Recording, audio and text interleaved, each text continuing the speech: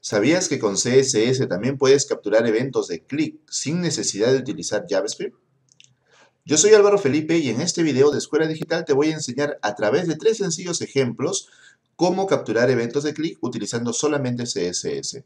En el primer ejemplo haremos un acordeón, en el segundo ejemplo haremos una ventana modal y en el tercer ejemplo haremos un menú of canvas. Los tres ejemplos, los tres ejercicios son solamente con CSS y ni una sola línea de JavaScript.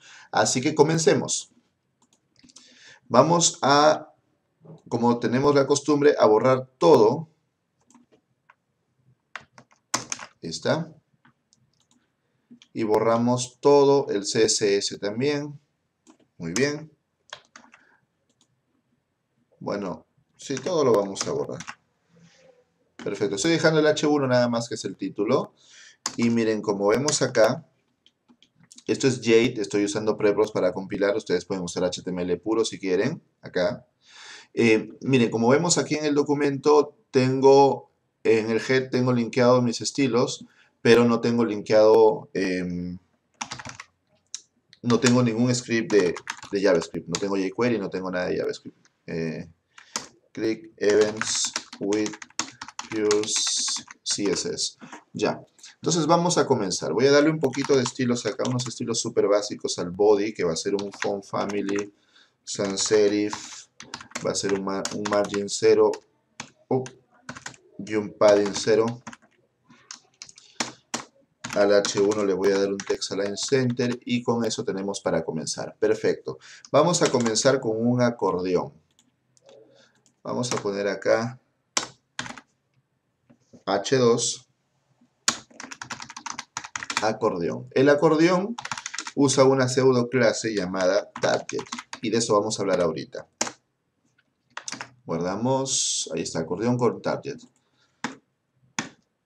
Vamos a encerrar todo esto dentro de un main para poder darle un, control, yo, porque yo quiero que el main tenga un width del 80% y un margin autos, es decir, que esté centrado.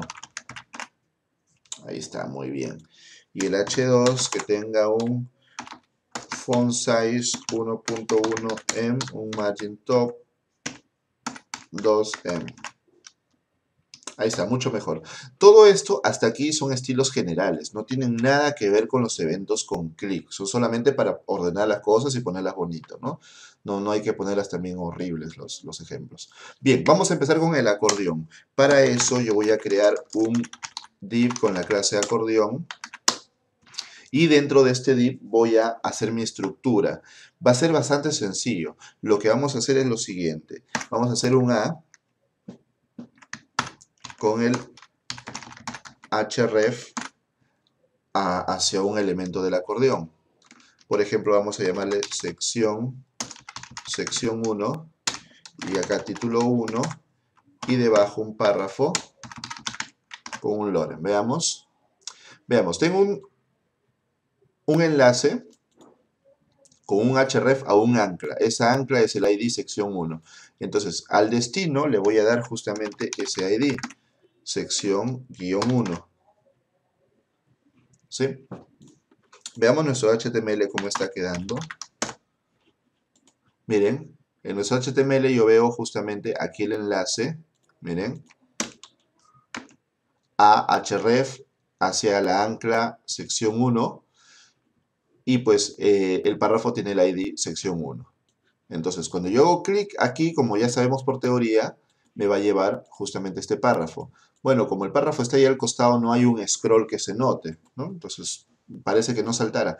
Pero sí nos damos cuenta en la barra de direcciones, miren, miren acá, cuando yo hago clic, aparece el hash sección 1. Entonces me indica que realmente se está ejecutando este, este clic. Perfecto, entonces esto lo voy a hacer varias veces. Para evitar tener que repetirlo, yo voy a hacer un for de Jade, que va a empezar en 1 y va a terminar en 4. Entonces dentro de ese for voy a meter todo esto. Ahí está. Y voy a interpolar la variable i para que en el primer caso me salga sección 1, en el segundo sección 2, etcétera, ¿no?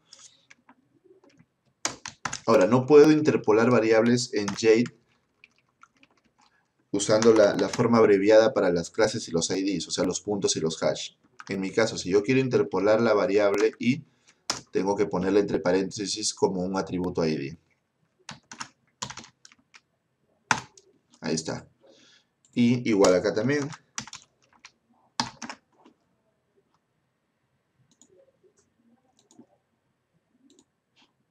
Título 1, título 2, título 3, título 4. Estoy usando Jade para acelerar el, el, trabajo con HTML. Pero realmente tú lo podrías escribir como HTML nada más. Mm.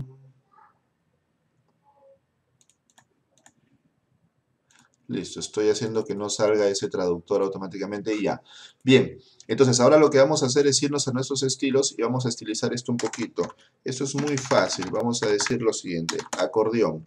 Dentro del acordeón todos los A van a tener un text decoration none, van a tener un display block. Muy bien. Eh, el acordeón va a tener un background EEE. E. Los A van a tener un background DDD. Muy bien. Y van a tener un line height de 2.5 para que tengan un poquito de altura. Y le voy a poner un padding 0, 1M para que no esté pegado a un lado. Perfecto. Entonces ya lo tengo. Ahora, los párrafos que están dentro del acordeón, los párrafos que están dentro del acordeón le voy a dar un padding de 1M y un margin 0, porque los párrafos tienen margen de 1M por, por defecto en el navegador. Bien, entonces ya lo tengo. Ya lo tengo. Le voy a dar un color nada más a los... Uy, uy, uy, ¿qué dice acá? Le voy a dar un color a los enlaces y un font weight ball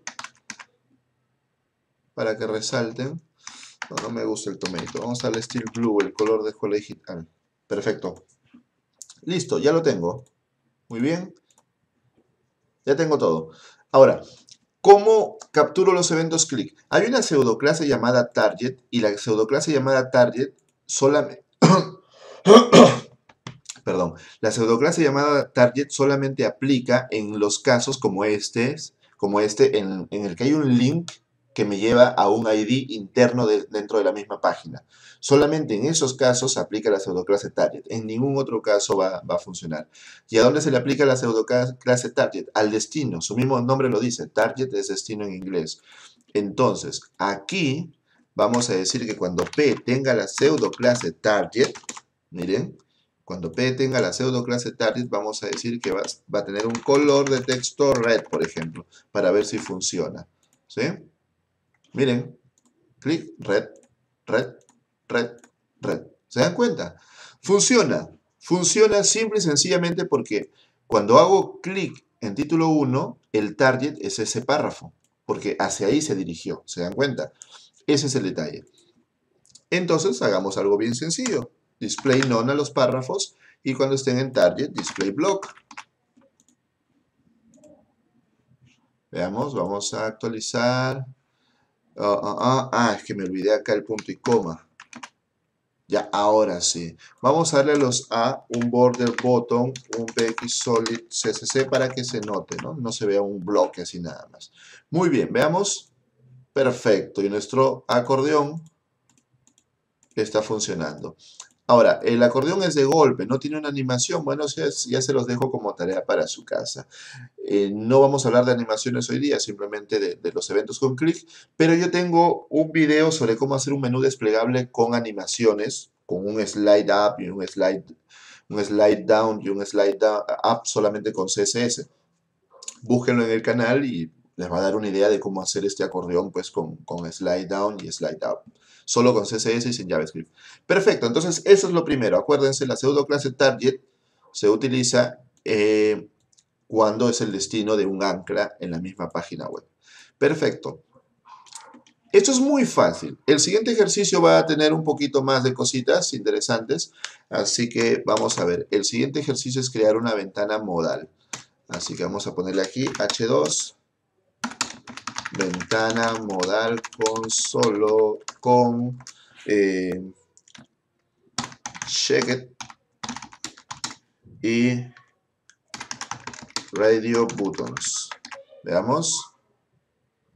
Ahí está. Ese es mi título para diferenciar. Entonces lo que yo voy a hacer es lo siguiente. Vamos a utilizar los botones de formulario, los botones de radio. Miren, vamos a poner acá un input, type, radio, radio. Y vamos a duplicarlo, sí, vamos a duplicarlo. Ah.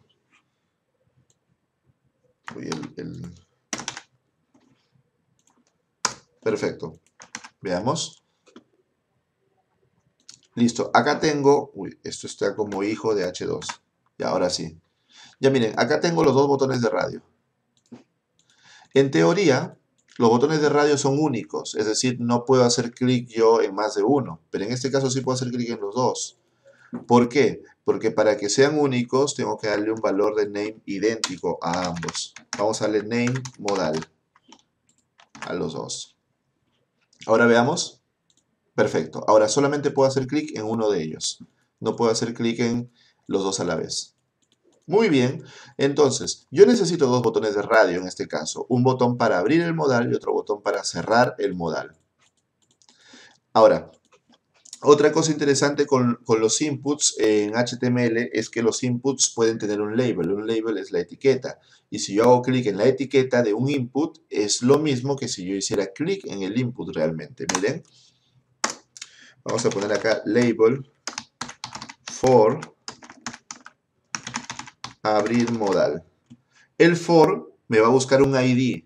Entonces yo tengo que darle a este input el ID abrir modal y le voy a poner un texto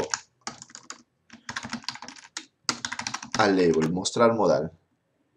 Veamos, miren, si yo hago clic en el texto, ¿ven? Es como si hiciera clic realmente en el botón. Fíjense qué pasa si yo le quito acá el for, Y hago clic ahora en el, en el label y no pasa, no pasa nada.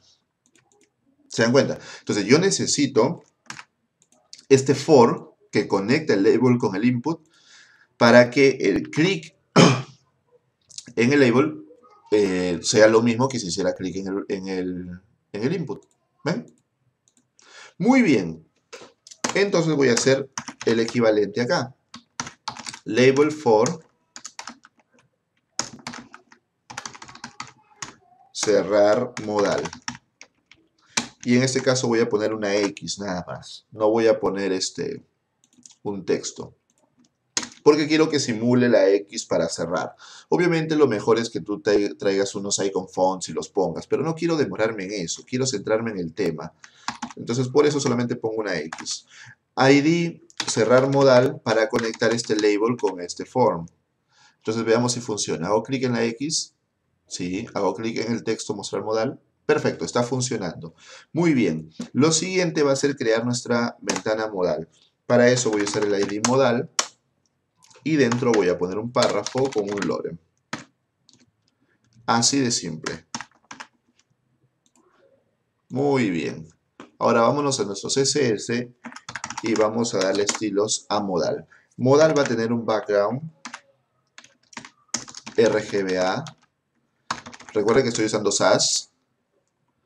Eh, RGBA con punto .9 de opacidad, o sea, un, negro al 90%. Eh, va a tener un position fixed, un top 0, un left 0, un width del 100% y un height de 100 VH. ¿Qué cosa es VH? Eh, viewport height. O sea, un VH es 1% de la altura del viewport del viewport, no necesariamente del body, porque en este, en este momento el body llega hasta acá nada más. Porque acá termina el contenido, entonces el body termina acá.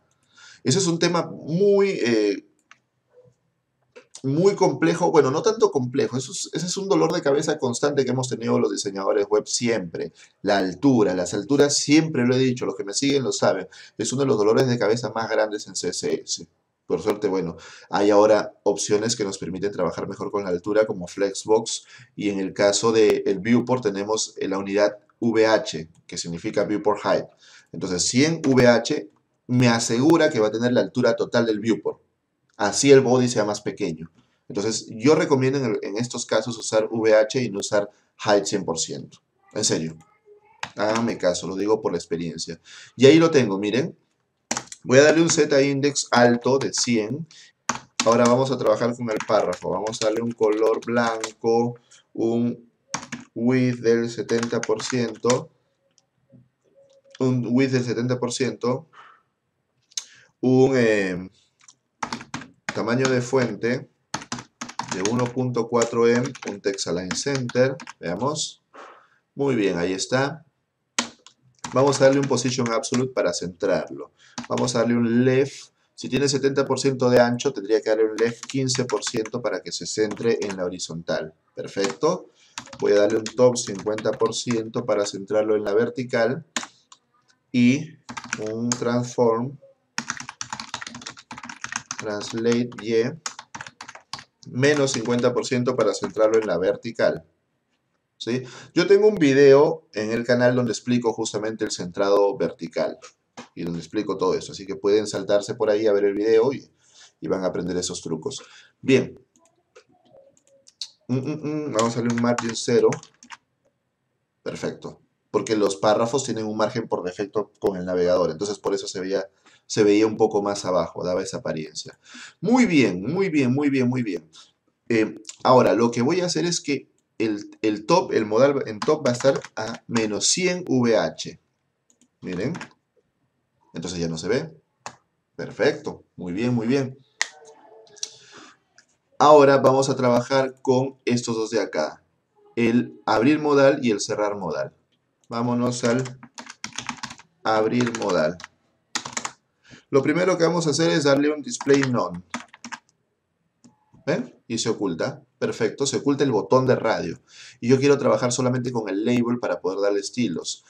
Entonces, ¿cómo detecto el label? Uso el selector más. El selector más en CSS me selecciona el que está justo después en el HTML. Es como el next en jQuery. Justo el siguiente en el HTML se selecciona con más. Entonces, si yo digo abrir modal más label significa que, miren, aquí está abrir modal más label, ¿ven? El label que está justo después, el next. Muy bien, entonces voy a transformar esto en un botón. Voy a decirle display table, eh, line height 3, padding 0, 1M, text transform uppercase, mm, ¿qué más, qué más, qué más? Un background steel blue, veamos cómo queda, muy bien, está quedando bien. Margin auto y color blanco. Ahí está. Muy bien, está quedando muy bien. Por último, le voy a dar un cursor pointer. Para que cuando pase el mouse, pues aparezca la manito como si pudiera hacer clic. Muy bien, eso está perfecto. Ahora, ¿qué tengo que hacer? Cuando yo selecciono un input, ya sea un radio, un checkbox, aparece en CSS una, pseudo clase llamada checked. Así. Entonces, cuando abrir modal esté checked, o sea, esté chequeado, esté seleccionado, cuando, cuando tenga esta pseudo clase, va a pasar lo siguiente. Voy a decir que cuando tenga esta pseudo clase, me busque me busque al modal que está después y diga que top del modal va a ser, ahorita lo explico con calma esto, 0. Eh, Vamos a ver si funciona. Funciona, miren, aparece. ¿Qué está pasando acá? Estamos diciendo que cuando le doy check a este botón, pulsando en el label, me va a buscar el modal que esté después. Pero a diferencia del selector más, este selector tilde, la diferencia es que este selector tilde busca después y no se queda buscando solamente el siguiente, sino hace un barrido por todos los demás elementos en el HTML hasta encontrar el, el elemento que estamos buscando. Si yo le pusiera más, así, esto buscaría el siguiente. Y el siguiente es un label. Después de este abrir modal, no, no está la ventana modal, fíjense. ¿Ven? Busque exactamente el siguiente, el símbolo más. Por eso le pongo la tilde, para que me busque no solamente el siguiente, sino todos los siguientes hasta que encuentre lo que busca. Entonces va a empezar en abrir modal, va a buscar, buscar, buscar, hasta que encuentre al modal. Y a ese le va a dar un top 0. Veamos. ¡Pum! Se muestra, pero se muestra de golpe. Así que vamos a darle un transition a modal. De, para todos los efectos, si es que queremos luego añadir más efectos, y de medio segundo, punto 5 S. Veamos. ¡Pum! Se muestra, qué lindo. Ahora tenemos que trabajar con el cerrar modal para que el cerrar modal lo cierre, pues, ¿no? Cerrar modal. Vamos a hacer algo similar, miren. Display none, ¿sí? Y más label para controlar el label. Espacio, ya, ahora sí. Vamos a decir que el label va a tener un position fixed. Esa X es el label. Un top, un M, right, un M, un M, un Z-index de 150, porque este modal tiene un Z-index de 100, entonces quiero que esté por encima el cerrar modal. Un color blanco, vamos a ver si ya se ve. Ahí está, miren, arriba está. Vamos a darle un font size de 1.5M y un font weight ball. Ahí está, se nota. Si tú quieres, puedes jugar incluso hacer más cosas, más cosas curiosas, ¿no? Vamos, por ejemplo, a darle un background tomato. Ahí está. Y un border radius 50%. Muy bien, le voy a dar un width 50 eh, un height 50 px un text align center y un line height 50 px. Ahí está, perfecto. 50 es mucho. 30. Mucho. 35. Perfecto, entonces ya tengo mi botoncito para cerrar. Y un cursor pointer. Cursor pointer. Todo esto son estilos, ¿no? Lo importante es lo que viene después cuando, cuando esté esto en checked. Entonces, similar a como hemos hecho con abrir modal, miren, cuando este botón cerrar modal esté checked, vamos a buscar al modal que esté después con el selector tilde, acuérdense, modal, y vamos a decir que modal va a regresar al top inicial que tenía, que era menos 100 VH. Es decir, va a regresar a ponerse arriba. Cuando yo haga clic en el botón mostrar modal, el top va a ser 0. Entonces, la parte superior del modal va a estar en la parte superior del body. Y cuando yo haga clic en cerrar modal, pues va a regresarse hacia arriba, a menos 100 VH. Vamos a ver. Ahí está. Cierro. Perfecto. Claro, acá hay un pequeño problemita, ¿no? Que esto se está viendo siempre. Para eso lo que tú puedes hacer simple y sencillamente es pues quitarle el color de fondo y quitarle todo ese adorno que hemos hecho, ¿no? Por eso es que yo al inicio puse simplemente una X en blanco. Recuerden que esto simplemente son ejercicios para que a partir de esto, miren, ya no la veo. La X sigue estando ahí. ¿Ven? Ahí está. Pero bueno, es un truco. Estos son solamente acercamientos a los eventos clic. Bueno, no, realmente no son eventos, ¿no? Son formas de capturar clic, trucos con CSS. Para que a partir de esto ustedes ya experimenten y vean más cosas. Ahora sí, miren, mostrar modal, cerrar modal, mostrar modal, cerrar modal. Qué bonito y solamente con CSS. A partir de eso, como dije, pueden hacer muchos experimentos más complejos. Bien, ahora vamos al tercero. A nuestro tercer ejercicio, que es, vamos a poner acá, H2, menú of canvas. Los menús of, canvas son los que están fuera del viewport y luego con un, con un toggle aparecen o desaparecen, ¿no? Entonces va a estar realmente fuera. Nuestro modal también estaba off canvas, estaba por fuera y luego al hacer clic lo metíamos en el canvas, ¿no? Menú of canvas con checked, con checked y checkbox.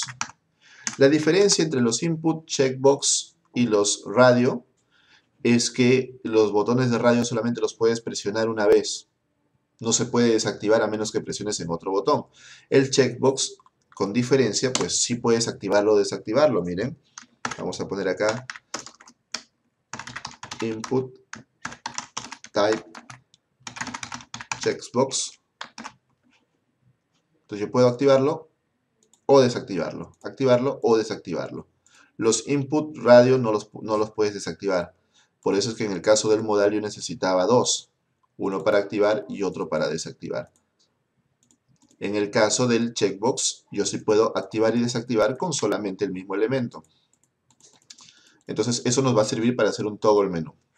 Muy bien, vamos, ya como ya aprendimos, vamos a poner acá un ID, mostrar menú. Un ID y luego el label con el for, mostrar menú. Y vamos a ponerle la palabra menú. Veamos, muy bien. Veamos si funciona. Si funciona. Hago clic en el label y me hace clic en el checkbox. Es lo mismo. Muy bien. Y ahora vamos a poner un nav.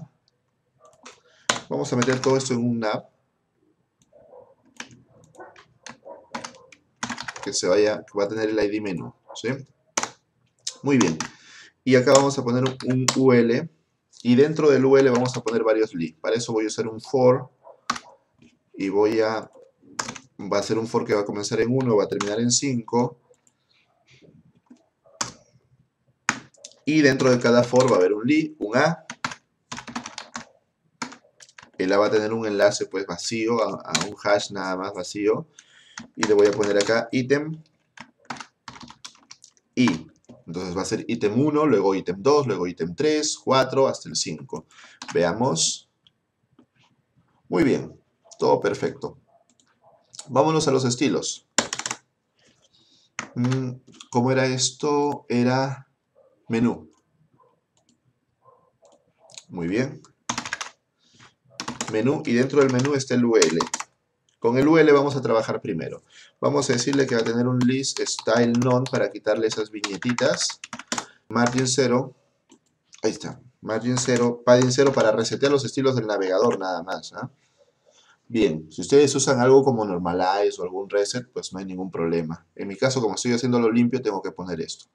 Margin 0, padding 0, position fixed, top 0, left 0 para crear el off canvas, ¿no? Y un background RGBA RGBA negro al 90%. Veamos cómo está esto. Muy bien, está por arriba, pero está funcionando. Vamos a darle un width del 50%. Muy bien. Y un height, como ya vimos hace un rato, de 100 VH, porque el 100% pues no siempre funciona. Perfecto. Luego, a los A dentro de este menú, vamos a decirle que van a tener un color blanco, un text decoration none para que se les vaya el subrayado, un display block para que me ocupen todo el ancho, un line height de 2.5 para que tengan una mayor altura, muy bien, y un padding 0 en la vertical y un M en la horizontal, perfecto, y por último un border button de un pixel solid RGBA blanco al 1%, o al 10% mejor dicho. Al 20%. Mejor, mucho mejor. Ahí está mi menú. Lo último es que voy a ponerle acá un padding top al menú de 3M para empujar los enlaces. Perfecto, tal vez un poquito más, 4, ya, para empujar los enlaces nada más. Perfecto, entonces ya está mi menú. Vamos a darle un left ahora de menos 50%, o sea, igual a su ancho, para que desaparezca, se vaya del canvas. Left, es casi lo mismo que hicimos con el modal, prácticamente lo mismo. La diferencia es que el modal venía de arriba y el menú viene de un lado, pero en realidad la historia es la misma. Menos 50%, veamos, perfecto, se oculta. Y eso sería todo con el menú. Ahora vamos a trabajar con nuestro botón, con nuestro input, que va a servir como un toggle, como un interruptor. Veamos. Mostrar menú. Lo primero que vamos a ponerle es un display none. Muy bien. Y luego, igual como hemos hecho ya antes, más label para buscar el label que está después. más label position fixed puede ser absolute si tú quieres que siga con el, cuando la página crezca siga con el scroll o fixed si quieres que esté pegado. Realmente en este, en este video no me estoy preocupando de la maquetación como ustedes ven. Quiero enseñarles cómo capturar clics. En, una maquetación de un proyecto ya pues tú serás mucho más cuidadoso. Incluso no vas a poner la palabra menú, ¿no? Vas a poner el icono con tres barras. Bien, eh, position fixed, top 0, left 0. Veamos. Muy bien, está acá arriba. Perfecto. Vamos a darle un line height de 2, un background de 222. Veamos, muy bien. Un color blanco y un padding 01M. Veamos. Muy bien. Por último, un cursor pointer para que aparezca la manito del menú, y perdón, a la manito del mouse y, y de, la, de la idea de que se puede hacer clic. Bien, una vez hecho esto, lo que tengo que hacer es, como hemos hecho en los casos anteriores, buscar el checket y una vez que esté activado el, input, buscar el UL que está pues más adelante. Y vamos a decir que en ese caso, ese UL va a tener un left 0. Ahora, el input checkbox como ya hemos visto hace un momento, se activa y se desactiva con cada clic. Entonces ya en sí mismo tiene una función de toggle. Cuando yo hago clic y lo activo, se va a aplicar este left 0 al UL y cuando lo desactive, se va a desactivar. Entonces ya es un toggle en sí mismo. Veamos. Hago clic, se muestra. Ahora, es el botón de menú queda oculto por atrás. Eso lo, lo solucionamos fácilmente con un z-index. Vamos a ponerle un z-index de 100 al menú. Y al mostrar menú, al label, perdón, un z-index de 150. Veamos si ya aparece por encima. ¿Ven? Se muestra y se oculta. Por último, le damos al UL un transition para que el desplazamiento sea suave. Transition all con .5 S, que es medio segundo. Veamos un desplazamiento suave. Qué bonito. Y miren que de esta manera hemos creado un acordeón, hemos creado una ventana modal y hemos creado un menú of canvas solamente con CSS, capturando los clics del mouse solamente con CSS. Hay que ver algunas consideraciones antes de terminar este video. Lo primero es que se puede hacer, sí, pero es un poco confuso eh, en el marcado porque necesariamente tienes que poner en algunos casos unos inputs. Por ejemplo, en el caso de los inputs, fíjate que el label yo lo tengo que poner después del input. Si yo pongo el label antes, no me va a funcionar, porque CSS no tiene ningún selector hacia atrás. Con CSS tú puedes seleccionar con el símbolo más el siguiente elemento, pero jamás el, eh, el previo. Eso no se puede. Entonces, eso me obliga a poner el label siempre después. Otra cosa, también me obliga a poner el elemento, por ejemplo en este caso el modal, después de los dos inputs. Yo no puedo poner el input, eh, este input de acá dentro del modal. Porque si yo pongo este input aquí dentro del modal, no hay manera tampoco con CSS de subir un selector, o sea, de, seleccionar el padre. Hay eh, nuevas propiedades que aparentemente nos van a permitir seleccionar el parent, pero por ahora no existen. Entonces, hay que tener en cuenta esas cosas también. Son experimentos interesantes, CSS está avanzando mucho, muchísimo realmente. Ya van a venir incluso funciones de programación con CSS4, se están hablando de variables. CSS3 tiene funciones muy complejas, funciones que reciben parámetros y reciben variables incluso. Entonces, ahorita CSS es muy complejo, no es solo maquetación. La otra vez leí en un foro de Facebook que decían que CSS era solamente maquetación. Mm, bueno, me quedé extrañado con ese tipo de comentarios. Bien, eso ha sido todo por el video de hoy. Espero que les haya sido útil, espero que les sirva. Si te sirvió, no te olvides de suscribirte y compartir este video con tus amigos, con tus compañeros del trabajo, porque compartir es agradecer. También puedes seguirnos en nuestras redes sociales, en Facebook y en Twitter, que están abajo en la descripción del video. Y también visitarnos en nuestra página web, escueladigital.p. Yo soy Álvaro Felipe y nos vemos en el siguiente video.